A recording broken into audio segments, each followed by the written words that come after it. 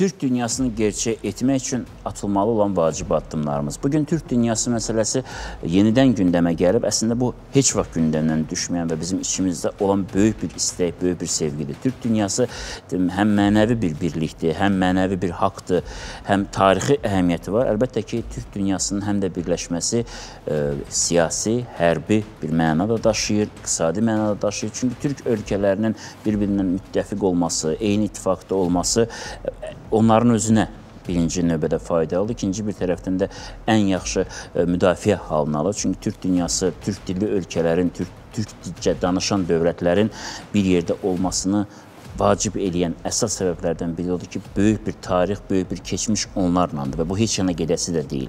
Heç bir Türk ölkəsi dəyişib başqa bir dövlət olmayacaqdır. Tarixin artıq elə bir mərhələsinə gəlmiş ki, yeni üfüqdən baxmalıyıq bu məsələyə. Xüsusən də 44 günlük müharibə və onun böyük qələbəsi ilə Türk dünyasının yeni bir mərhələsi başlaya bilər və biz nələri eləməliyik? Biz Türk dünyasında olan ölkələrlə, orada yaşayan xalqlarla, oranın həm siyasi elitası ilə, həm mətbuatı ilə, həm də digər sahələri ilə hansı hansı əməkdaşlıq tərəflərini və ittifaqa aparacaq, birliyə aparacaq, hər hansısa bir birgə addımlara at apara biləcək hansı addımları atmamız vacibdir. Qonaqları təqdim edin və müzakirəyə başlayaq. Jalə Əliyeva, Milli Məclisin deputatı, Ailə, Qadın, Uşaq Məsələləri Komitəsinin sədr müavini, filologiya elmləri doktoru, professor. Tənzilə Rüstəmxanlı, Azərbaycan-Türkiyə evinin sədri, Azərbaycan-Türk Qadınlar Birliyinin sədri. Aqil Camal, Türkistan Media Qrupunun rəhbəri. Hikmət Babaoğlu, Milli Məclisin deputatı. Elnur Eltürk, diaspora fəalı jurnalist. Xoş gəlibsiniz hər biriniz. Bura gələn hər kəsin bir Türk dünyası ilə bağlı xüsusi həm xidmətləri olan, həm ömrünün böyük hissəsini həsrləmiş insanlardır. Mən bilirəm ki, sizdə bu günlərdə xüsusi bir e, belə deyək də bir planlar yaranıb, yeni fikirlər yaranıb. Mən istəyərdim bir bunu bir götür-qoy edək. E, indi fərqli yanaşırıq. Biz həmişə deyirdik ki, Qarabağ probleminin həllindən sonra biz başqa məsələlər haqqında düşünə bilərik. Çünki Qarabağ böyük bir dərd olaraq bizim başımızın üstünə sallanmış. Biz bu dərdi yığışdırdıq və artıq öz üfüqümüzə, öz kəməndimizə fərqli baxacağıq və e, nələri etməliyik, nələr qarşıda durur. Tənzil xanım, istəyirəm sizdən başlayaq. Mikrofonu götürün. E, Əsasən də Türkiyə ilə münasibətləriniz çox yaxşıdır. Türkiyədə olan elita ilə də siyasi və s. və ilaxır. Nələri gördünüz və digər türk dilli ölkələrlə biz hansı addımlar atmalıyıq ki, daha tez və sürətli olsun bu inteqrasiya? Bilirsiniz, e, bir ifadə işlətdiniz, Türk dünyasının birliyi, Türk dünyasının gələcəyi və birləşməsi. E, əlbəttə biz bu dəqiqə mən 30 il bundan öncə biz ilk dəfə bu işə başlayanda o o vaxtdan bu günə baxanda özümü e, bu yolda çox e, əməyinin həyata keçməsi və çox da xoşbəxt hiss eləyirəm. Ona görə ki, biz zaten bunu arzulayırdıq. Biz bu günləri gözləyirdik və e, Əslində bu birlik 19-cu əsrin sonu, 20-ci əsrin əvvəllərində həm Türkiyə, həm Azərbaycanın Türk dünyasının e, digər bölgələrində aydınlar artıq öz sözləri ilə bu birliyə doğru gedirdilər. Onun altyapısı hazırlanmışdı, amma bəlkə də bu birlik o zamanlarda sağlanacaqdı. Yenə araya ayıran o e, ölkələr devrəyə girdi və Türk dünyasının bir araya gəlib yazışan çox ciddi aydınları olub. Onların hərəsi öz ölkələrində müxtəlif cür təzyiqlərə və repressiyalara məruz qaldı. O cümlədən Azərbaycanda bilirsiniz, onlar hansı səviyyədə repressiya olundular. Türkiyənin özündə də Cümhuriyyət dövründə deməli Türkiyə sınırları dışında yaşayan türklər üçün mübarizə, onların varlığından xəbər verən, onlar haqqında danışan insanlara da çox ciddi təzyiqlər var idi və Nihal Atsız və Türkeçin 44-cü ildə o 3 may Türkçülük günü onun üçün yaranıb ki, o vaxtda onların e, onların məhkəməsinə protest olaraq 3000-dən yuxarı türk gənci küçəyə çıxmışdı. O gün bunun üçün e, e, anılır Hər zaman və bu arada onu da qeyd edim, ilk dəfə Azərbaycanda 3 may türkçülük gününü biz keçirmişik, tanıtmışıq o günün anlamını. Deməyim odur ki, mən e, düşünürəm ki, e, Türk dünyasının e, birliyi biz demirik ki, sərhədlərimizi götürək. Biz deyirik mənəvi birliyimizi sağlayaq. Bunu 30 il qabağa da deyilirdi, bu gün də deyil. E, eyni fikirdəyik və Azərbaycan Türkiyə modelinə baxmaq lazımdır. Və biz e, bir daha gördük ki, e, sadəcə Azərbaycan və Ankara və Bakının birlikdə hərəkət etməsi, birlikdə düşünməsi və biri-birinə həm xarici siyasətdə, həm daxili siyasətlərində bir-birinə dəstək durması gətirdi böyük zəfərimizi Qarabağın azad edilməsində Türkiyənin Azərbaycanın yanında olması və Azərbaycanın yürütdüyü o siyasət ki var idi, Azərbaycanı zəfərə götürdü və çox ciddi bir nəticə əldə etdi. Mən sizə bir şey deyim. Mən çox yaxın bir zamanda qayıtmışam Türkiyədən və çeşidli görüşlərim oldu. O qədər böyük bir ümidlə baxırlar ki, Qarabağın azad olunandan sonra Türkiyə və Azərbaycanın bu qədər mənəvi bütövləşməsinə bu çox önəmlidir. İlk öncə xalqın içində, ürəyində başlayır o körpülər salınmağa. O körpülər salınmışdı ki, onun üzərindən belə sağlam addımlarla keçildi və nəticəsi göz qabağındadır və Mən deyərəm ki, Şuşa türk dünyasının mənəvi e, paytaxtı oldu, kültür paytaxtı oldu. Türk dünyası belə baxır Şuşaya bu gün. Ona görə də Türkiyə-Azərbaycan birlikliyi və Türkiyə ilə Azərbaycanın Qarabağ zəfərində bir yerdə olması digər türk dövlətləri üçün də böyük ümiddir. Türk dünyasının baxın Türk dünyasının mənəvi bütövlüyü üçün o qədər böyük bir ümid işığı yaxdı ki, bu Qarabağ zəfəri bir dönüm nöqtəsi oldu. Və e, mən çox ümidliyəm. Çünki e, ciddi baxın, bəlkə də çox reklamı getmir, amma e, uzun illərdir Azərbaycanda Türk dünyasına dönük çox ciddi e, işlər görülür.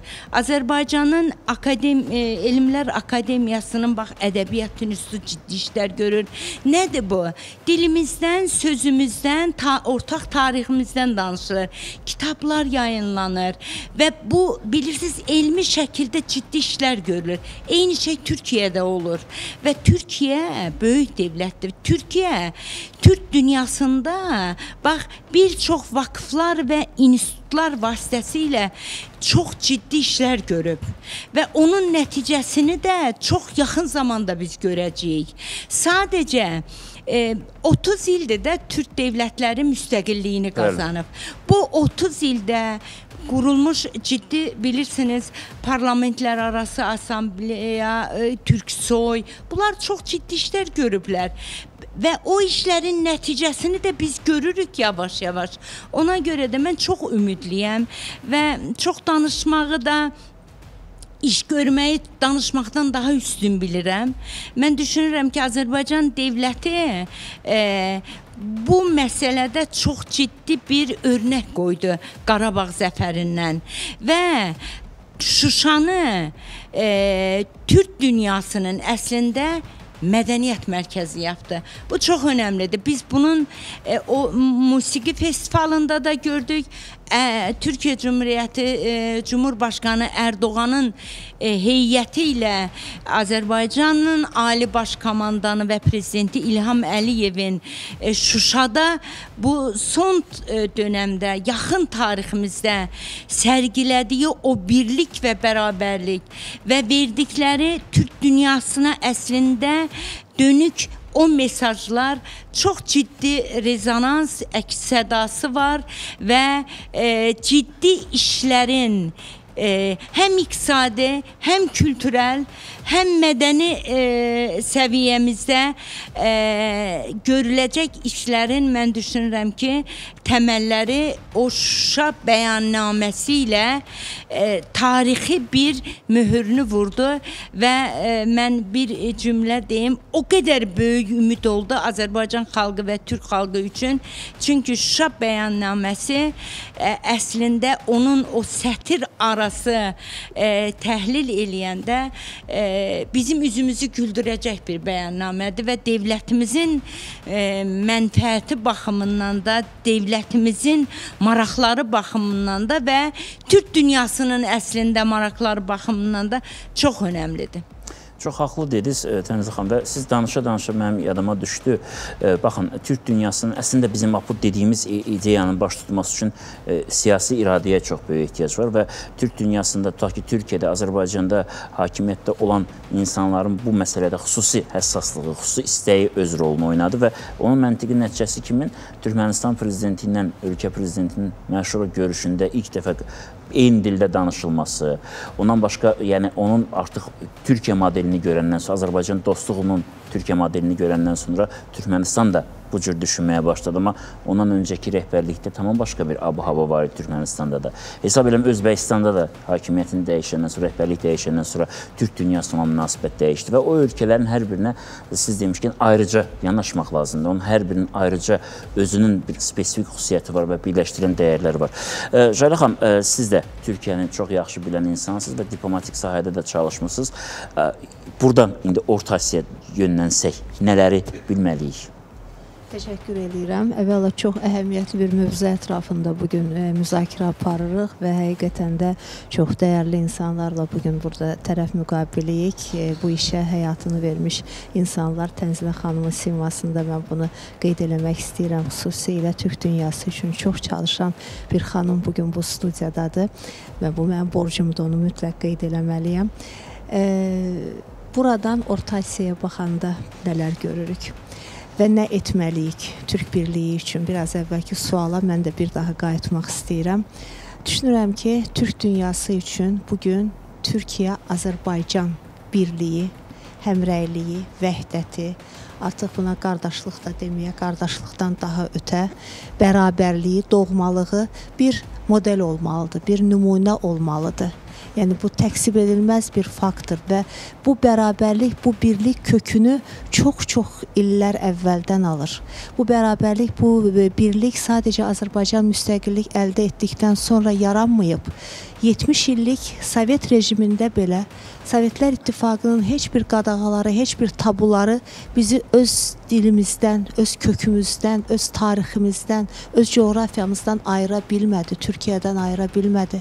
Gəlin o dövrləri xatırlayaq. Burada oturan hər bir insan bilir ki, həmin o zamanlarda türk sözünün yasaq edildiyi zamanlarda belə bizim hər birimiz gizlincə də olsa, oğrun-oğrun da olsa gözümüz Türkiyədə idi, qulağımız Türkiyədə idi. Mən bir haşiyəyə çıxacağam. Bizim evimizdə rəhmətlik anamın Nurəngiz günün öz əlləri ilə hazırladığı bir güşə var idi. O güşə bu gün də qorunur. Və yenə də deyirəm, Türkiyəyə o həsrət olduğumuz zamanlarda 50 il bundan əvvəldən danışıram. 40 il bundan əvvəldə uşaqlığımı xatırlayıram. O güşədə nələr yox idi? Orada türk sazı var idi, türk fəsi var idi, Atatürkün rəsmi var idi. İstanbulun ən gözəl gözəl mənzərələrinin açıqcası var idi. Türk ədəbiyyatını çox çətinliklə də olsa sərhəddən keçib gələn türk ədəbiyyatının nümunələri var idi orada. Və biz gecənin bir yarısına qədər oturub gözləyərdik ki, gecə e, deyəsən mən onu bir dəfə də bir verilişdə demişdim, e, bir e, yazımda demişdim. E, deməli radio dalğalarının, frekansların təmizlənməsini gözləyirdik. Çünki gün ərzində heç cür Türkiyəyə rahat qulaq asa bilmirdik. Ya Sovet KQB-si buna imkan vermirdi, bilmirəm. Məqsədli şəkildə e, xətti qırırdılar. Amma gecənin bir yarısında səhərə yaxın e, bilmirəm əskərlərin o sərhəd əskərlərinin, KQB əskərlərinin ürəyinə insaf mı gəlirdi ya yuxu tuturdu, nə idisə biz net şəkildə dinləməyə başlayırdıq və burası Türkiyə, burası İstanbul sözünü eşitmək üçün gecə yuxumuza haram qatıb onu gözləyirdik və sanki dünya bizə verilirdi. Bu hisslərlə böyümüşük hər birimiz və mən əminəm ki, hər bir Azərbaycan türkü qanında, canında türklük daşıyan hər bir insanın mən düşünürəm ki, uşaqlığı, gəncliyi bax bu şəkildə keçib və bir daha qeyd edirəm ki, heç bir tabu bizi kökümüzdən ayıra bilmədi və e, 70 illik həsrətdən sonra biz müstəqilliyimizi əldə etdiyimiz zaman ilk yanımızda olan Türkiyə oldu, bizi ilk tanıyan və bu günə qədər də biraz əvvəl Təzlə xanım da çox e, ətraflı söylədi. Azərbaycanın hər bir zaman, xüsusilə də bu 44 günlük müharibəsi günlərində hər an yanında olan bir e, ölkə, bir e, dünya var bizim arxamızda. Bu da Türkiyədir, bizim böyük Türkiyəmizdir. Və belə olan halda düşünürəm ki, bu e, nümunə, bu birlik ümumilikdə bütün Türk dünyasına sirayət etməlidir və həcmini artırmalıdır. Deyək ki, masştabını artırmalıdır. Və biz əgər bu gün Türk birliyindən danışırıqsa, bir daha sözümün əvvəlinə gəlirəm. Bax bu illərin sınağından çıxan, illərin e, belə deyim ki, bir daha qeyd eləməsəm, qadağalarından alnı açıq, üzü ağ çıxan Türkiyə-Azərbaycan bərabərliyi modelini biz digər türk ölkələrinə, türk dili danışan respublikalara transfer etməyi bacarmalıyıq və bu gün sadəcə deyək ki, Türkmənistan, Özbəkistan, Qırğızstan, Qazaxıstan deyil axı sadəcə türklüyü daşıyan ölkələr, respublikalar. Eyni zamanda uzaq Çində Uyğurlar var.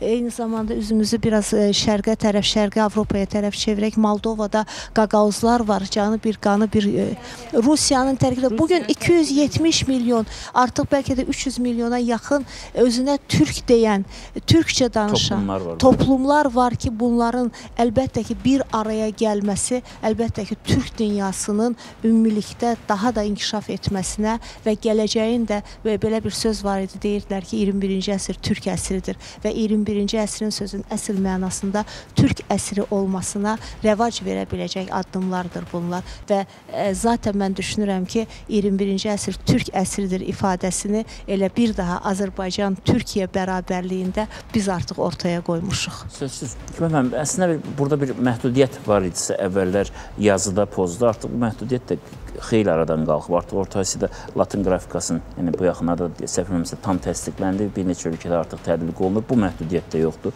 və bir mətbuatın da bir yeni bir yanaşması olmalıdır. Bu əlaqələrin qurulması üçün yeni layihələr dövlətlər arası layihələr nə dərəcədə bax sizdə bir ə, bununla bağlı misal üçün hansı bir layihə və yaxud da nə isə gerçəkləşdirmək üçün bir cəhdlər varmı? Çox sağ olun. Əslində Türk etnosiyasi coğrafiyası bütövdür. Zaman-zaman o müəyyən parçalanmalara məruz qalsa da, bəlkə fiziki baxımdan bütövlüyünü itiribdir, bəlkə iqtisadi inteqrasiya baxımından bütövlüyünü itiribdir, amma mənəvi və ruhi baxımından heç vaxt bütövlüyünü itirməyibdir. Çünki Türk dünyasının bir ucqarında yaranan böyük mədəniyyət nümunələri dərhal digər ucqarı tərəfindən mənimsənilibdir. Dastanlarımız da, poeziyamız da, yaradıcımız da, elmimiz də, hər şeyimiz. Hazırda mən istəyirəm e, 21-ci əsrin geostrateji mənzərəsi və qlobal çağırışlar kontekstində bu məsələyə toxunum. Hələ ötən əsrin 90-cı illərində Samuel Huntington yazırdı ki, 21-ci əsr dini və milli identifikasiya əsri olacaqdır. 20-ci əsrdən fərqli olaraq 20-ci əsr ideologiyaların, siyasi dünya görüşlərin əsri idi. 21-ci əsr milli və dini identifikasiyaların əsri olacaqdır. Doğrudan da qlobal paradigmalar onu sübut edir ki, biz istəsək də, istəməsək də bizi ona itələyirlər. Yəni eyni sivilizasiyaya aid hesab olunan xalqlar eyni qədəri yaşamağa məhkum edilir. Buna da sivilizasiyaların qarşıdurulması deyilir. Elə Huntingtonun ifadəsidir. Baxın bu çağırışlar kontekstində biz nə etdik və bu gün hesabat verə bilərikmi? Hörmətli Tənzilə xanım da dedik 91-ci ildən sonra biz müstəqilliyimizi əldə etdik. 30 il keçibdir. 30 ildə hardan hara gəldik? Hər şeydən öncə biz bu etnomədəni coğrafiyamızın etnoiqtisadi və etnosiyasi coğrafiyaya keçirim, e, keçməsi üçün çox böyük işlər gördük. TÜRKPA yaradıldı. Ciddi bir institusional qurumdur. E, Türk Dili Dövlətlərinin Əməkdaşlığı Şurası yaradıldı. Biz ona qısaca olaraq Türk Konseyi deyirik. Beynəlxalq Türk Akademiyası yaradıldı. Türk Soy yaradıldı və bunlar qısa müddətdən sonra o qədər ciddi qurumlara çevrildi ki, artıq bir zamanlar Türk adına və e, o Türk etnomədəni mənsubiyyətinə özlərini çox ehtiyatla aid edən xalqlar, məsələn Macarıstanın timsalında maraq göstərməyə başladı. Ukraynanın timsalında maraq göstərməyə başladı və s. Dolayısıyla cazibədar bir model qurmaq əslində bacarmışıq. Yəni bu artıq bir zamanlar bizim üçün xəyal olan, əlçatmaz olan, ə, röyalarımızda gördüyümüz, arzuladığımız məsələlər ciddi şəkildə reallaşır. Qaldı ki, sizin dediyiniz o dil birliyinə və demək ə, mədəni birliyə Beynəlxalq Türk Akademiyası çox böyük işlər görür və Türkpa çox böyük işlər görür. Məsələn, mən Türkpa üzvü kimi bu iclaslarda iştirak edirəm və milli parlamentarilərə bizim tövsiyələrimiz olur Türkpanın qəbul etdiyi qərarların ə, Türk ə, Şurasına üzv olan ölkələrdə Milli Məclislər tərəfindən qəbul edilməsi üçün tövsiyə qərarlar hazırlanır. Onlardan biri bu yaxınlarda məsələn biz diplomların qarşılıqlı şə- şəkildə nostrifikasiya edilməsi və tanınması ilə bağlı idi. Digəri Ortaq Türk tarixi kitabının hazırlanmasından bağlı idi ki, bu istiqamətdə işlər gedir. Beləliklə biz artıq ayrı ə, ayrı ə, sistemsiz və parakəndə şəkildə fəaliyyətdən sistemli və məqsədyönlü fəaliyyətə keçirik. Bu mühüm bir məsələdir. Ona görə də mən düşünürəm ki, əgər burada bir model axtarırıqsa, çox maraqlı da bir model yaran yaranıbdır faktiki olaraq. Bu nədən ibarətdir? Böyük dövlət xadimi Öndər Heydər Əliyevin bir millət, iki dövlət ə, fəlsəfəsi kontekstində Türk-Azərbaycan münasibətləri və o söz deyiləndən 2021-ci il 15 iyun Şuşa bəyannaməsinə qədər gələn dövrdə artıq biz nə etdik? Bu tezisi real hüquqi iqtisadi müstəviyə keçirdik Şuşa bəyannaməsi ilə. Gördünüzmü? Bu tarixi hadisədir, mühüm bir hadisədir. Ona görə də digər türk dilli ölkələr üçün də bu model təşkil edə bilər və mən düşünürəm ki, buna doğru gedirlər. Formula və detoks çayları. Bioslim çayları təbiətdən evinizə gələrək daim sizin qayğınıza qalır. Bioslim formula arıqlama formulu. İstifadə zamanı yağların əriməsini sürətləndirir, aclıq hissiyatını azaldır. Digər çaylardan fərqli olaraq Bioslim formula çayları ilə siz daha asan arıqlayırsınız və verdiyiniz çəkini geri almırsınız. Bioslim formula ilə hər zaman ideal formada olun. Bioslim detoks çayları orqanizmi toksin şlaklardan təmizləyir. Damarları sklerozlaşmadan qoruyur xolesterin səviyyəsini aşağı salır və qaraciyər piylənməsinin qarşısını alır. Bioslim detoks çayları ilə həyatını sağlam yaşa. Apteklərdən soruşun. Keyfiyyətin və halallığın nişanəsi min bərəkət, halal nemət. Ağız dadınızı dəyişəcək manqal üstü ət məhsulları. Tam yeni texnologiya, keyfiyyətli xam malla, ədvalarla, halallıq və dürüstlüklə hazırlanan manqal üstü fərqli bir daddır doktorskaya və Lyubitelskaya texnologiyası ilə hazırlanır. Həm dadı, həm keyfiyyəti ilə seçilir. Tam halal qaydada hazırlanır. Manqal üstü, dadların üstü, min bərəkət, halal nemət. Budur əsl keyfiyyət. Bizi bu gələcəyə aparan yol nədir? İstəyirsiniz Əmir Teymurdan başlayaq. Biz ki məmləkətdə Turan Əmiri Türkistanız. Biz ki millətlərin ən uluğu Türkün baş buğuyuz. Baxın, Teymur gəldi, Azərbaycana Şirvanşah 1-ci İbrahimlə dostluq edirdi. Şirvana dəymirdi, inkişaf edirdi. Əlincəni mühasirədə saxlayırdı. Təbrizdə Qaraqoyunlu Qarayüzünə müharibə aparırdı. Doğrudurmu? Baxın bu nə idi? Bu qədər təzad ola bilərmi bir Cahangirin fəaliyyətində? Yox, bu sadəcə Azərbaycanın öz milləti kimi görmək idi. Kim ondan dostluq edirdisə, ona toxunmurdu. Məsələn, Şirvan timsalında. Baxın, e, bu gün çox maraqlı bir e, serial çəkir Türk e, kanalları. Bozqırın Arslanı Cəlaləddin Məngüberdi. Xərazmşahlar Ələddin Ələddin Xərazmşahın oğludur. Cəlaləddin Məngüberdi gəldi Azərbaycana nə elədi? Birinci işi oldu ki, Azərbaycanın bəylərinə məktub yazdı ki, mən sizdənəm. Oğuzların bəydini boynunanam. Və nə etdi? Baxın, Azərbaycanda ordu qurdu və Azər Gürcülər tərəfindən işğal olmuş Azərbaycan torpaqlarını işğaldan azad etdi, Tiflisə hakim təyin etdi. Doğrudurmu? Bəli. Əmir Teymur getdi Çubuqluda savaşdı Yıldırım Bəyazitlə. Bəyaziti məğlub etdi. Ürəyimizi acıdır, eləmi? Amma amma amma amma nə etdi? Dövlət ortadan qaldırmadı, bir daha strateji bir addım atdı. Getdi İzmiri aldı, Bəli, verdi Osmanlıya. Hansı ki 3 dəfə mühasirəyə almışdılar. bəli. Ona qane olmadı, getdi Çeşməni də aldı. Qışı da orada keçirtdi və sonra da dənizə baxıb dedi ki, o adalar kimindir? Dedi ki, dedilər ki, Yunanların. Dedi ki, onları danlaq, dedilər ki, bizim gəmimiz yoxdur. Baxın, mən bu misalları nəyə görə belə çəkirəm? Qoy sonuncunu da Nazarbayevdən deyim. Ee, Nazarbayevdən soruşdular, bizim çox hörmətli bir jurnalistimiz, adını çəkmirəm, hamımızın dostumuzdur. Nazarbayevə sual verdik, Azərbaycanlılar sizin üçün kimdir? Dedi ki, Azərbaycanlılar Xəzər dənizini üzərək keçib sonra geri qayıtmağı yadından çıxardan Qazaxlardır. Bir millət iki dövlət fəlsəfəsinə gəldikmi? Və yaxud türklər haqqında deyir ki, Anadolu türkləri haqqında biz atlarımızı yeri yeyib burada qaldıq. Onlar atlarını minib bizim qardaşlarımız Avropaya getdilər. Ya, dolayısıyla bayaq dediyim o məsələ mənəviyyatda və milli təfəkkürdə bütövlük hər zaman olubdur və bizim öndərlərimiz bu fikirləri həmişə ifadə ediblər, doğrudurmu? Artıq sistemli şəkildə institusional və struktural formada hansı işləri görürük? Bunların da bilgisinə mən bilgisinə mən toxundum. Hazırda isə daha bir mühüm hadisə baş verir. Mən də düşünürəm ki, mütləq burada qeyd eləmək lazımdır. Əslində real strateji müstəvidə bizi sabaha daşıyan hadisələr bunlardan ibarətdir. Şuşa bəyannaməsini mən dedim, doğrudurmu? Bir gün öncə demək iyul ayının 7-sində Azərbaycan prezidenti bir sərəncam imzaladı. Yeni iqtisadi rayonların yaradılması ilə bağlı. İlk növbədə bu ilk baxışda adama bir qədər sadə gəlir ki, iqtisadi rayonlaşma nə var ki, burada 11 iqtisadi rayon vardı Azərbaycanda, indi olsun 14. Amma bunların adına diqqət etdikdə və iqtisadi rayonlaşmanın kompleksləşməsinə diqqət etdikdə nə qədər dərin məzmun və strateji bir qərar olduğunu biz görəcəyik. Baxın, iyul ayının 7-si o tarixdir ki, 1923-cü ildə Dağlıq Qarabağ Muxtar Vilayəti yaranır. Rusiya Sosial Demokrat Bolşeviklər Partiyasının qərarı ilə və vilayət statusu verilir. Arada nə qədər keçir? Təqribən 97 il eləmi? Azərbaycan prezidenti nəsə simvolik mənada bax bu sərəncamın çox yüksək qiyməti var. Məhz iyul ayının 7-sində və həmin gün başqa bir hadisə nə idi? Ermənistanın baş naziri Rusiya Federasiyasında səfərdə idi, doğrudurmu?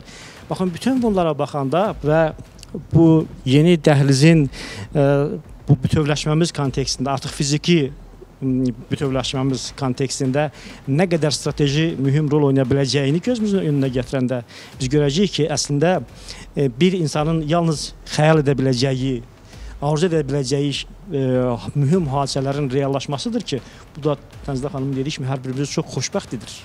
Yəni bu ömrümüzün bərəkəti baxımından, Məncə, inancımız baxımından. Şərqi Zəngəzur sözü də Şərqi Zəngəzur sözü bir sözdür. Tamamilə doğrudur. İstəyirsiniz bu barədə ayrıca danışarıq. Bu toponiminin, e, etnotoponiminin etimologiyasından başlamış, o dəhlizin Zəngəzur sözünün, o zəngilərin suru, yəni qalası ifadəsinin Zəngibasara qədər, Zəngiyana qədər apara, yəni Zəncana qədər apara bilərik. Yəni bunlar çox mühüm hadisələrdir. Ona görə də sonda bir məsələni xüsusi vurğulamaq istəyirəm. Bu proseslər heç kəsi təftişə salmasın. Bu böyük coğrafiya hamını himayə edəcək. Qeyri-türkləri də qucaqlayacaq, onlara rifah gətirəcək, onlara barış gətirəcək və sülh gətirəcək. Onları qlobal imperializminin təzyiqindən qurtaracaq bir coğrafiya olacaqdır. Bax bu çox mühüm məsələdir. Baxın biz Şuşanı azad etdik və Şuşada festival keçirildi. Doğrudurmu? Orada kimlər yox idi? Bizlə bərabər yaşayan hansı xalqlar yoxdur? Hamısı oradaydı. Doğrudurmu? Yəni e, bizim görmək istədiyimiz regionumuzun gələcəyi, o böyük Turan dedikdə, Türk dünyası dedikdə əslində biz bunları nəzərdə tuturuq. Yəni regionumuzda, təbii coğrafiyamızda, təbii tarixi etno coğrafiyamızda sülh və barış olsun.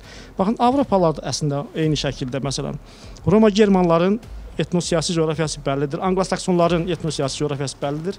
Latın qalların etnosiyasi coğrafiyası bəllidir. Yəni düzdür, burada bizdə olduğu kimi orada da süni dövlətlər yaradılıbdır. Xüsusən o kəsişmələrdə, məsələn, e, Benelux ölkələri deyirik, kiçik Belçika, ölkələr, qarışıq-qarışıq etno e, tutaq ki, demoqrafik strukturlar var, amma nəticə etibarilə tarixi tarixən formalaşmış elə bir bütövlük var ki, bunu pozmaq çox çətindir. Əslində biz bu gün o bütövlüyə doğru gedirik. Haqlısınız və burada bir məsələni indi istəyirəm qeyd eləyək. Ə, Aqil bəy, mikrofonu götürün. Biz indi təbii ki, birlikdən danışırıq və hər birimiz arzulayırıq. Amma bu təbliğat işində, yəni mən mətbuatın indi rolunu ayrıca istəyirəm qeyd eləyəsiniz. Amma təbliğat işində biraz diqqətli olmağımız da çox vacibdir. Çünki elə şeylər var ki, bilmədən küstürə bilərik, bilmədən yaxşılıq eləməyə əvəzinə gəlib pislik eləyə bilərik. Xüsusən də bu Oğuz Qıpçaq söhbəti. Mən tendensiyanı hiss edirəm, xüsusən də rus dilli e, kom kütləvi kommunikasiya vasitələrini məsələn çox qabardırlar. Və çox qəribədir ki, e, bayaq dediyiniz istər Əmir Teymurla bağlı, istər e, Şah İsmaillə ə, döyüşlər qabardılır. Rusiya xüsusən də Rusiyada çox geniş bu təbliğat aparılır. Niyə indi yadlarına düşüb? Mən bilmirəm, amma yəqin mən bilirəm təxminən niyə indi yadlarına düşüb. Amma biz bunu qarşılayacaq bəzi şeyləri görməliyik. Xüsusən də bu Oğuz Qıpçaq məsələsini aradan götürməliyik. Çünki bu biraz təhlükəli tendensiyadır və istəməzdim ki, bu türk dünyasını biz bu cür qruplaşdıraq və yaxud da bu cür bölgüləyək. Yəni burada ehtiyatlı olmaq lazımdır. Həm də nəyi bilməliyik? Biz spesifik cəhətində hər hala Türkistan deyilən böyük bir ərazi bu gün bir neçə dövlətin arasında paylaşdırılıbdır. Hətta özbəklər özbəklərlə Qaraqalpaqlar arasında bir münaqişə yaratmaq istəyirlər. Bu da boşuna deyil. Çünki türk dünyasını istəməyənlər çoxdur. Buyurun.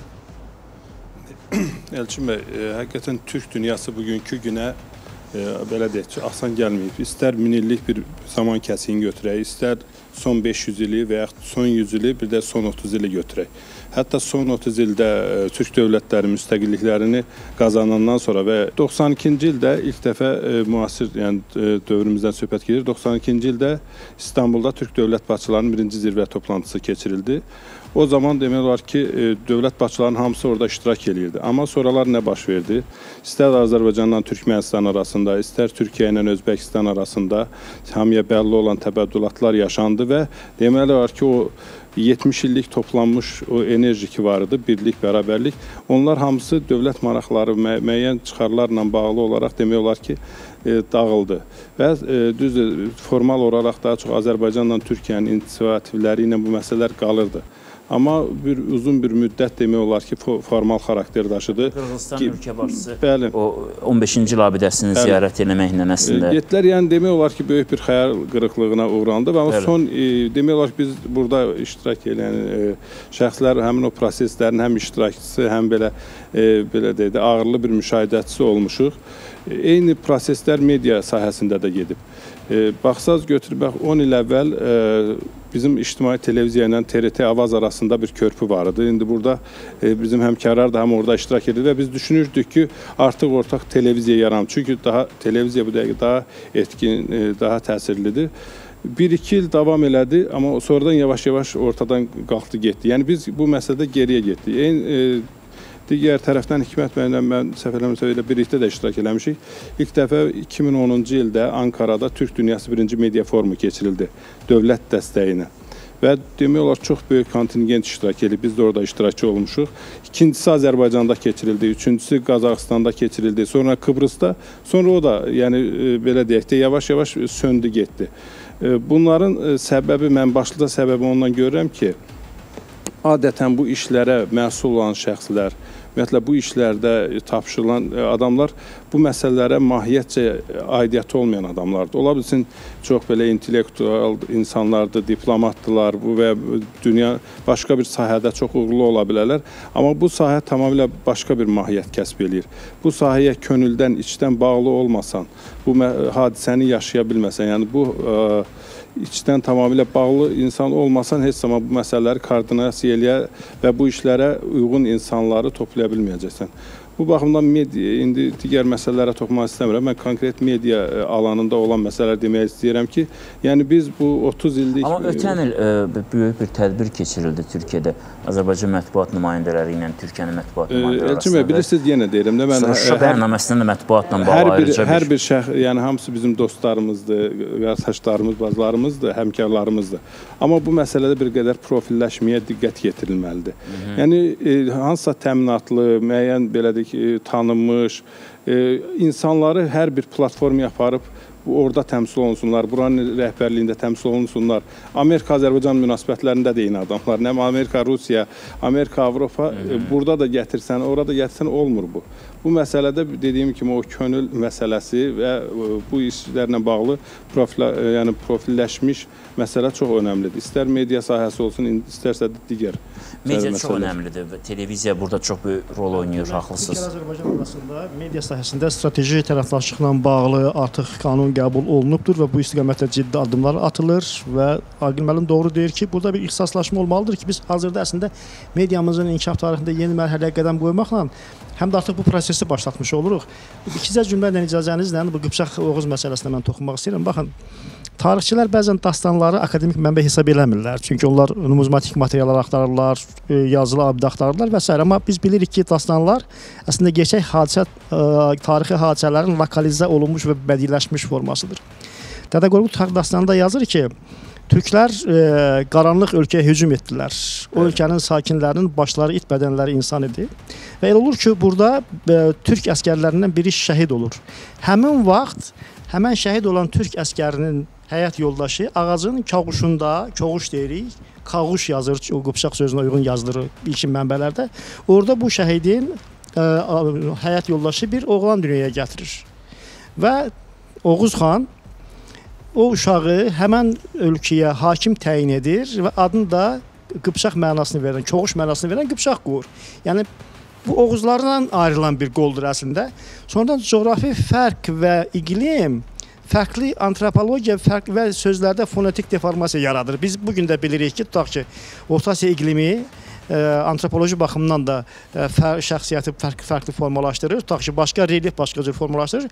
Bu sosiologiya da bunu belə izah edir. Ona görə də ə, o Oğuz Qıpçaq bölgüsü aparanların mən düşünürəm ki, elə perspektivləri yoxdur. Çünki intellektual kəsim, tarixi bilənlər bunun kökünü Hə, ha, hardan olduğunu bilirlər. Amma çox sağ olun ki, biz bunu bax belə daima e, populyar platformalarda da dilə gətirməliyik ki, hər kəs bilsin ki, heç bir fərq yoxdur. Mən Təşəkkür həm də bunu demək istəyirəm, ə, ə, xatirinə təxminən 90-cı illər, 96-97-ci il idi səhv eləmirəmsə, Murad Hacının məşhur kitabı Dəşti Qıpçaq, yəni Qıpçaq çölünün yoxşanı kitabı çıxandan sonra onu Tofiq müəllim Hacıyev tərcümə eləmişdi Azərbaycan dilinə və Oğuzlara aid olan hissəni ümumiyyətlə tərcümə eləməmiş, kitabdan da çıxarmışdı. Çünki özünə də irad bildirmişdi ki, bu hissə düzgün yazılmayıbdı. Murad Hacı sonra bunu etiraf elədi, növbəti kitablarında da bunu qeyd elədi. Amma mən yəni nədən ən çox çəkinirəm? E, intellektual kəsim üçün bu fərq heç bir rol oynamır, haqlısınız, amma o biraz e, düşəndə aşağı hansısa hisslərə toxunan. Elə mən istəyərdim Elnur bəylə bu məsələni müzakirə. Elnur bəy həm də e, belə deyək də müasir kommunikasiya vasitələri ilə fəal işləyir. E, Bu gün sosial şəbəkələrdə çox ciddi türk dünyasının təbliğatı gedir. Və bu şeydə açıq demək lazımdır ki, çox fəal olan Qazaxstan gəncləridir. Məni çox sevindirir. On Tataristanın gəncləri bu prosesdə çox fəaldırlar. Türk dünyası məsələsində məni çox sevindirir və hətta Hə, amma siz təsəvvür mən yəni Türkiyə həmişə olubdu da. Yəni amma Qazaxstanın və gənclərinin bu cür fəal olması, bu cür istəklə olması məni həqiqətən çox sevindirir. Çox Təbii ki, məktəblərin Təbii ki. Nəyi biz sosial şəbəkələrdə, sosial kommunikasiya vasitələrinin gənclər olduğu yerdə nələri eləməliyik? İstədiyimiz türk dünyasını qurmaq. Çünki bugünün gənci 20 ildən sonra e, siyasi elit ola bilər və olacaqdı da. Elçin müəllim çox sağ olun. Təşəkkür edirəm. Maraqlı bir mövzudur. Həqiqətən də məndən öncə çıxış edən natiqlər də Türk dünyasının mənəvi birliyi ilə bağlı, iqtisadi, sosial birliyi ilə bağlı çox yaxşı fikirlər bildirdilər. Təbii ki, bu gün e, demək olar ki, Türk dünyası təkcə yəni yazılı mətbuatda getmir, yəni o təbliğat. Eyni zamanda sosial şəbəkədə böyük bir təbliğat gedir. Və biz e, bayaq qeyd edirik ki, təbii ki, Qazaxstan gəncləri, nəinki Qazaxstan və xüsusilə elə Türkiyə gəncləri də bu prosesdə çox böyük fəal iştirak edirlər. Elə biz aziq bir fakt qoyaq ortaya ki, Vətən müharibəsində həqiqətən də çox bir möhtəşəm bir birlik ortaya çıxdı. Bəli. Və mən deyərdim ki, bu birliyin hələ sonrakı proseslərə də böyük müsbət təsiri olacaq. Özə hətta Türkiyədə siyasi rəngarənglik çoxdur. Solçu, sağçı fərqinə varmadan hər kəs Demək Azərbaycanın olar ki, yanında əgər oldu. orada hansısa bir Azərbaycan əleyhinə hansısa bir fikir səslənən kimi demək olar Türkiyə gəncləri, ya Kıbrıs türk Bəli. gəncləri hə, anca o reaksiya verir də və bu artıq nəyə göstərir? Bu onu göstərir ki, yəni sosial şəbəkədə də birlik formalaşdırılmışdır və bu birliyi e, daha da inkişaf etdirmək lazımdır. Siz bilirsiniz ki, bizim ə, yəni ə, sərbəst elektron resurslar olan Wikipedia bizim fəaliyyətlərimiz var və Wikipedianın özündə də bu gün Türk dünyası ilə bağlı, yəni Türk dünyasının tarixini, mədəniyyətini, ədəbiyyatını və müxtəlif sahələrini əhatə edən məqalələr yaradılır. Adicə bir e, Şuşa bəyannaməsi e, imzalanan kimi ondan 1 saat ya 2 saat keçməmiş artıq demək olar ki, ona Wikipediyanın Azərbaycan dil bölməsinə yaradıldı və istədim ki, onu türkcə yaradaq gördük ki, artıq Türkiyə türkcəsinə də o məqalə yaradılıb. Bu artıq nəyə göstərir? Yəni virtual birliyimiz də yaranır. Yəni elektron resurslarda da bizim birliyimiz Ona görə möhkəmlənir, mən bu güclənir. sualı verdim. Çünki davamı olacaqdı, bəli. Və fərqi yoxdur. Yəni müxtəlif dövrləri əhatə edən ə, məqalələr zənginləşdirir ki, gələcək nəsillər artıq o məqalələri oxuyub və xüsusilə də öz tarixi ilə, kökü ilə qüruz keçirsinlər. Bilirsiniz ki, yazılı mətbuat artıq yavaş-yavaş ə, arxivə keçirir və insanlar artıq istənilən bir informasiyanı internet üzərindən əldə edirlər. Və biz də çalışırıq ki, ə, yəni Wikipediyanın Azərbaycan türkçəsində nə qədər çox türk dünyasını əhatə edən məqalələr çox olarsa, bir o qədər çox Turana, türk bilinə xidmət etmiş olarıq. Əslində mən bir, bir əlavəm var. İndi sizə söz verəcəm Tənzil xanım. Baxın, istər bax Aqil bəyin indiyənə qədər o top o qəzetdə böyük bir materiallar toplandı türk dünyası ilə bağlı bu illər ərzində. O resursların elektron versiyasını görmək istəyirəm. Hikmət müəllim dedi, dastan təfəkkürü, ümumiyyətlə dastançılıq, hər bir xalqın kodları orada yazılıbdır. Dastanların elektron versiyasına çox böyük ehtiyac var. Yəni PDF olmağını demirəm, e, audiovizual həllini istəyirəm.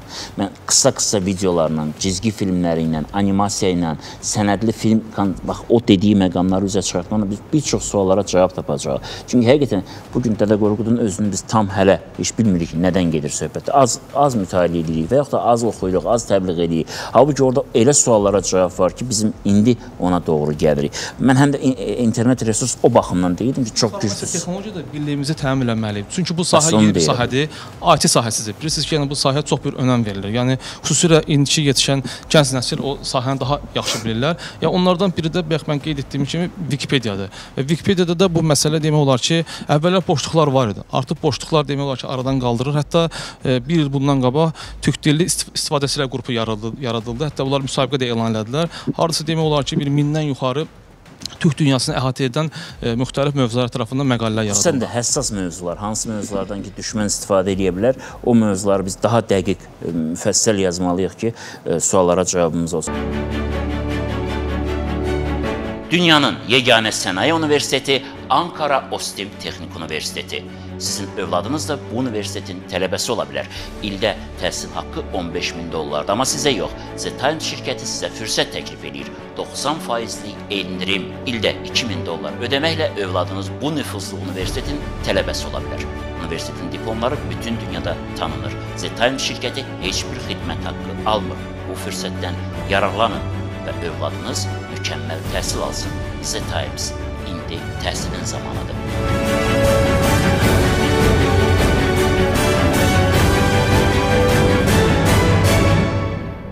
Bilirsiniz, e, mən e, istəyirəm bir şey xüsusi olaraq sizin e, fikriniz e, mənə onu tutdum bir məsələ. Dediniz ki, siyasi iradə çox önəmlidir.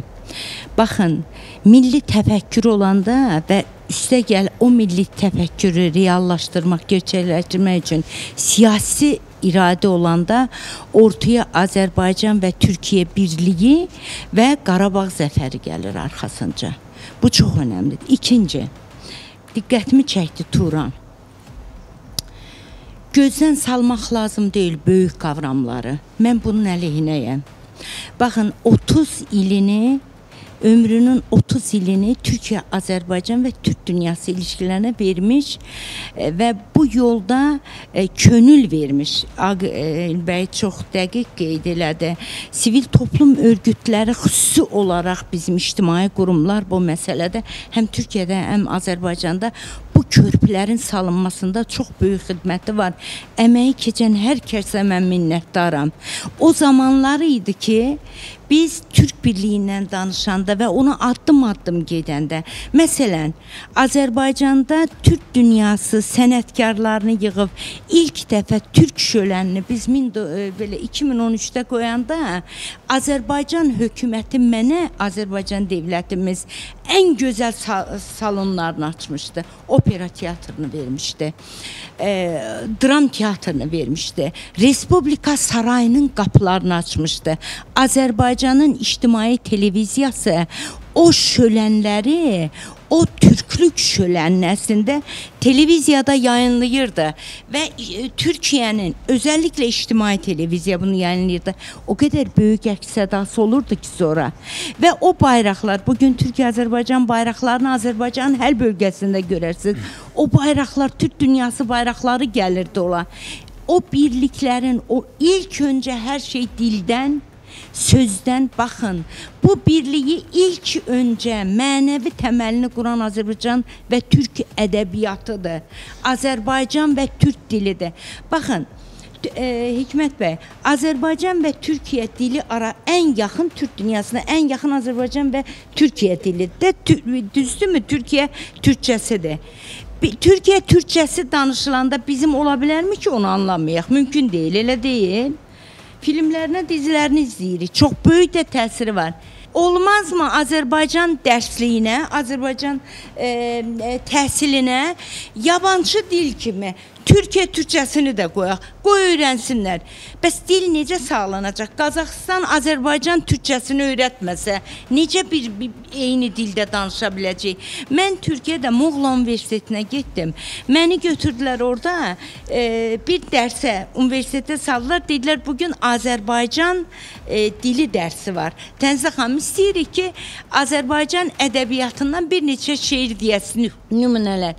Mən Azərbaycan dilində, Azərbaycan ləhcəsində orada danışdım və e, şeirlərimizi oxudum. Sizin arzu tələbələr o qədər gözəl anladılar. O bizim filmləri Azərbaycan televiziyasında gedən filmləri izləyirlər və heç bir problemimiz yoxdur. Ortaq televiziya qeyd elədi. Bunlar axı ən önəmli addımlardan biri idi bu e, Türk dünyasının. Məsələn, Turam bir kavramdır. Bunu gözdən salmaq olmaz. Bunu cahillikcə, cahilcasına dayatmaq olmaz. Bunu addım-addım buna doğru gediləcək və kimsəni bu məsələdə qarşı tərəfdə cəbhə almasına xidmət etmədən eləmək lazımdır. Bu gün Azərbaycan Elmlər Akademiyası bu məsələdə ciddi addımlar atır. Ciddi elmi əsərlər buraxılır, ciddi ortaq kitablarımız yayınlanır, ortaq tariximizə xidmət eləyən kitablar yayınlanır. E, özəlliklə Türkiyədə də bu belədir.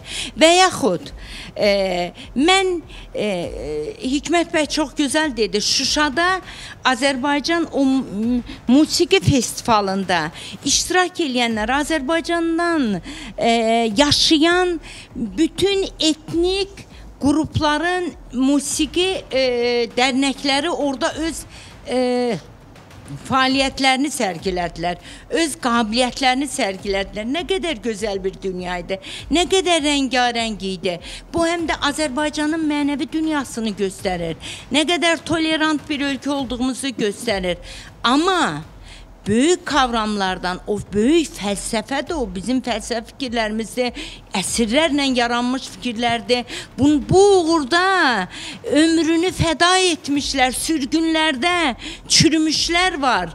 Onların ruhu bu gün Türkiyə-Azərbaycan birliyində çox rahatdır. Amma biz bu birliyi qurmaq üçün o doğulmadan bir fikri öldürmək olmaz. Haqlısınız. Və bu təməl daşlarını ev necə tikilir? Daşı daşın üstünə qoyurlar da. Bu gün o qədər gözəl bir siyasi iradə qoyulub Azərbaycan və Türkiyə birlikdə.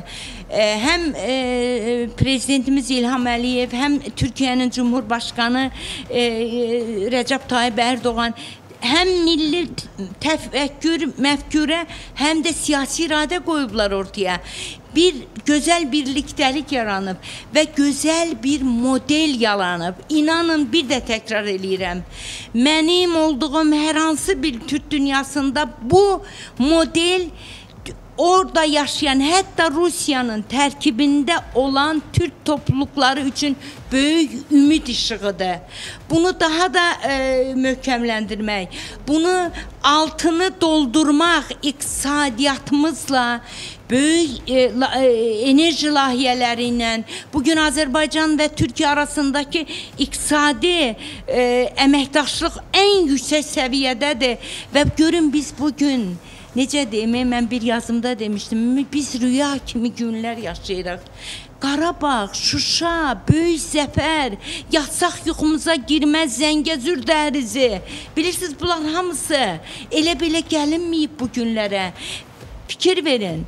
Qarabağ zəfəri elə o 44 gündə həll olunmadı. Onun öncəsi var idi. Öncəsində onun ona hazırlıq var idi. Azərbaycan ordusu bəyəm böyük reklamlarla e, o, o cür hazırlandı və qalibiyyət gətirdi. Yox. Yəni ağılla bu işə getmək lazımdır. Ciddi siyasi iradə olanda millətin ən böyük xəyalı belə gerçəkləşir Sözsüz. və mən buna çox inanıram. Haqlısınız Tənzil xanım. Bir e, balaca epizodda mən deyim və e, həm də bir təklifim olacaqdı. Əslində 90-cı illərdə e, bu böyük bir iş görüldü. Azərbaycan Dövlət Televiziyası və o dövrün də bugünün də ən görkəmli insanların birgə toplaşdılar. Mövlud Süleymanlı var idi orada, Ramiz Həsənoğlu var idi və s. Fatihlərin Divanı adlı bir televiziya tamaşası hazırlandı. Bu əslində tarix dərsliyi idi. Həqiqətən Türk dünyasının tarixinə bir baxış idi. Çox təəssüf ki, e, ASTV-yə rəhbərlik eləmiş şəxslər hansısa məqsədlərlə, məramlarla bunların vermədilər, yayımlamadılar. E, Yəni cəmsi bir neçə dəfə yayımlandı, ondan sonra rəhbərlik dəyişdi və ümumiyyətlə bu məsələ atıldı, rəflərə qaldı. Amma bu gün Bax o 90-cı illərdə hətta çəkilmiş o bir epizodlara bölsək, sosial şəbəkələrdə paylaşsaq 1 dəqiqə, 3 dəqiqə fraqmentlərini nə qədər böyük təsir olar həm bizim üçün, həm Türk dünyasının digər xalqları üçün. Çünki orada böyük bir coğrafiyanı əhatə edən bir mövzu idi. Siz dediniz, mənim o yadıma düşdü. Bizim də bu sahədə audiovizual sənətimiz, televiziyalarımız, kinomuz, radiomuz, musiqimiz, birgə layihələrimizdə də yeni nəfəs gəlməlidir. Biraz bax bu dəyişiklik də olmalıdır. İnsanlar özləri eləyirlər. Özləri bir e, yaradıcı insanlar eləyir, amma bir axı bunun bir vahid mərkəzi var. Məsələn, Türk dünyasının üçün çox önəmlidir. Qazax Qazaxıstan Tomris haqqında film çəkildi və çox gözəl də çəkildi. Mən, mən möhtəşəm işlər görülüb orada. Elçin bəy bir dənə əlavə eləyim, üzr istəyirəm. Buyurun. E, bundan da bitirirəm. Deməli, Türk birliyinə, türklüklə gedə bilməyəcəyimiz yerlərə biz İslam qardaşlığı ilə getməliyik. Biz həm də müsəlman dövlətliyik. Əlbəttə, sözsüz, sözsüz. Buyurun. Sosial şəbəkələrdə adətən hamımızın rast gəldiyimiz bir məsələlər var. Turandan danışılanda, Türk müasir Türk birliyindən danışanda bir kəsim var ki, çox təftişçi yanaşma sərgiləyirlər və biz də az qala onları əzbərdən bilirik ki, əslində bunların məqsədi Türk birliyi deyil. E, Hal-hazırda gəlinmiş nöqtəni qaralamaq, aşağılamaq, yox bunlar heç vaxt Türk birliyi yarada bilməz, bunlar e, belədir filandır. Amma e, deyəndə ki, geriyə dönüb tarixin hansı dönəmini müqayisə eləyirsiniz? Yəni bugünkü gəlinmiş nöqtə ilə Türk dünyası tarixinin, Türk dövlətlərinin birlik tarixini hansı dönəmi müqayisə edib indiki vaxtı bəyənmirsiniz? Bu baxımdan, e, yəni o hal-hazırki vaxtı bir qədər də hətta bizi qane etmir belə demək bunlar e, absurddur. Çünki ümumiyyətlə kərpic-kərpic hörülməlidir. E, Tənzilə xanım onu dedi, tələsmədən tələsmədən hörülməlidir. Bu gün baxın e, hal-hazırda artıq Türk birliyi təkcə etnik, mədəni coğrafiyanı əhatə eləmir. Burada biz e, indi Macarıstanı Hikmət müəllim dedi, Pakistanın bu prosesə, yəni hətta e, Beynəlxalq Türk Akademiyası ki var, mərkəzi Qazaxıstanda yerləşir. Onlar e, Pakistanla çox ciddi işbirliyindədir. Oranın Mədəniyyət Nazirliyi ilə görüşüblər billər. İlk olaraq e, böyük nədir? Beynəlxalq Türk Akademiyasına həmin e, Pakistanın qoşulması, ardınca da digər türk e, qurumları ki var, ortaq qurumlarına qoşulması var. Əfqanistan, Əfqanistanın hal-hazırki, yəni belə deyək də, hakimiyyəti, hökuməti həm Azərbaycanın, həm, həm Türkiyə ilə çox güclü əməkdaşlıq e, münasibətlərindədir və e, hal-hazırda Əfqanistan hökumətində Türk e, 4 türk soylu nazir var. Orada e, Ru- Dustumun mövqelərində bilirsiniz və hətta mən son vaxtlar şübhələnirəm ki, bizim özümüzün də ayrıca açdığım, açmaq istədiyimiz ki, bir koridor var. Əfqanistan üzərindən Pakistan o tərəfə. Yəni indi bu qədər bu qüvvələrin e, həmin Əfqanistan hökumətinin arxasından çəkilərək e, Talibanla üzdə qoyulmasında da sanki belə bir belə də təxribatçı bir oyun var. Hə, digər bəli, hə, digər bir yanaşmanı da istəyirəm mən e, bunu hər zaman biz iz, e, müşahidə eləmişik. İstər o dediyim kimi bir 10 il əvvəl, istərsə də indi bu məsələlər bir qədər konjunktura kimi baxan kəsimdə var. Türk filmlərinin Azərbaycan televiziyalarında tərcüməsi məsələləri e, qərar çıxarılanda biz onlara etiraz edən çox e, az sayda adamlar idik. Hətta o vaxt bizim qəzetimizin manşeti belə idi ki, bir millətin iki dili ola bilərmi? E, Bayraq krizi məsələləri olub, e, sürüx protokolları məsələləri filan məsələlər olubdu. O vaxtlarda Türkiyəyə qarşı belə deyək, az qala qılınc çəkən adamlar bu günləri televiziyaya çıxıb çox rahat şəkildə və güya Türk dünyasından danışırlar, amma çünki anlayış yoxdur deyə, yalnız Türk dünyasının Azərbaycan-Türkiyə münasibətləri kontekstində danışırlar. Bir millət iki dövləti Atatürk də yəni əsas üçün deyib e, sevincimiz, sevincimiz, kədərimiz, kədərimiz də ondan o tərəfə keçə bilmirlər. Amma bu gün Türk dünyasından biz danışırıqsa, burada e, Güney Azərbaycanı görməzdən gəlib keçmək e, biz indi bu gün Zəngəzur dəhlizinin əhəmiyyətindən danışırıq. Zəngəzur əgər Türkiyə ilə Azərbaycanı birləşdirirsə, bütövlükdə Turanı birləşdirən qızıl körpü Güney Azərbaycandır. Bəli. 50 milyonluq xalqımızdır. Bu baxımdan onu görməzdən gəlib keçiriksə və yaxud da Doğu Türkistan bu gün e, e, bir zülmiyyətin içərisində belə deyək də inləyən yaxud da öz milli kimliyi uğrunda bu gün mübarizə aparan Tataristan olsun. Bunları görmədən, bunları mediaya çıxartmadan biz yalnız e, belə deyək də hansısa bir formal konjunkturaya uyğun şüarlar səsləndirməklə, yəni o adamları demək istəyirəm ki, O adamlar bu məsələlərdə piyadadılar. Sadəcə görürlər ki, bir mod düşübdür. Bu moda uyğun hərəkət edirlər. E, sabah Allah eləməsin, hansısa bir dövlətlər arasında kiçicik bir anlaşılmazlıq olanda həmin adamlar yenə ortadan çıxacaqlar. E, Siz danışa-danışa e, yazıcı Anarın otel otağı əsəri yadıma düşdü. Orada bu məsələ çox geniş verilir. Səhv yadınızdadır hər birinizin. 30-cu ildə türkçülük əleyhinə danışan ədəbiyyatşünasın birdən-birə meydanda çıxıb millətçilikdən danışması var. Elə adamlar olacaqdır, bütün cəmiyyətlərdə var. Amma o mənada çox haqlısınız ki, biz iki qat hazırlıqlı olmalıyıq. Həm bu məsələni imkan verməməliyik ki, populistlər və bizə düşmənlər bizim əleyhimizə işlətsin. Bunu da istəyirlər eləsinlər. Orada gözdən salmaq var. Orada başqa məqamlar var ki, o hissiyata toxuna biləcək məsələlər. E, eyni zamanda bu məsələni həm də incə təbliğatını aparmaq lazımdır ki, bezdirilməsin. Bayaq siz dediniz. Yəni bezdirmək olmaz. Bu içdən gəlməlidir, ürəkdən gəlməlidir. Və bunun üçün də yenə təkrar edirəm, nə qədər elmi araşdırmaların rolu varsa da, kütləvi ədəbiyyatın, kütləvi təbliğat vasitələrinin də çox böyük gücü var. Orada da həqiqətən də millətini sevən, türkçülüyü anlayan insanlar olmalıdırlar. Siz demişkən, dəb xatirinə nəyisə verib kör, daha çox körlüyürlər. Nəsə demək istədiniz Rəy xanım? Buyurun.